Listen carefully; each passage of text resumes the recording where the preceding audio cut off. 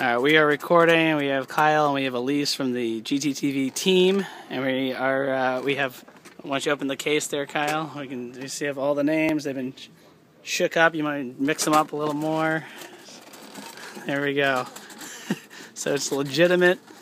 And uh, here we go with the first pick in the 2012 fantasy football draft. Oh, You got okay. One's one. one. All right, what is it? What do we got? Show the cam. Crimson Jihad. Crimson Jihad with the first pick. You can just put that there. All right. We'll just go down the line. Congratulations. Crimson Jihad. There you go, CJ. D-Town's Eaglets. Eagles? Eagles. D Towns Eagles. All right, number two. Uh,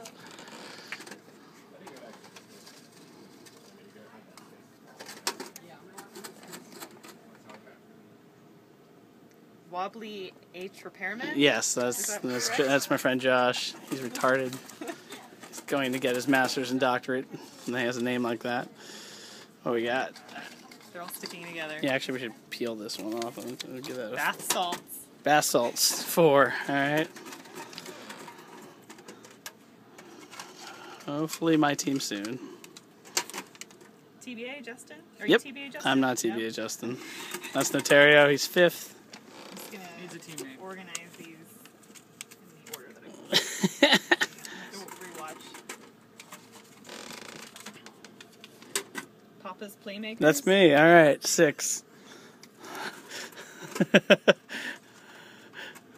Won't explain the, the name. Can you dig it? Can you dig it? There you go. Is that seven? Five more. Whoa. The Giant Sack. Giants fan. Eight.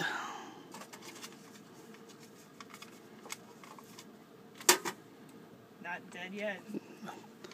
Friend Timmy. Nine. And then uh, this will be the tenth pick.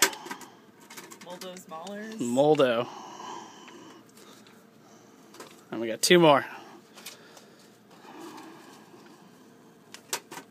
In a box.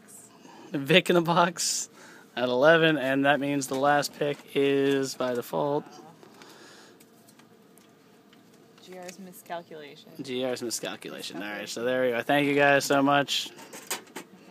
Good luck, guys. Good luck, guys. Gentlemen.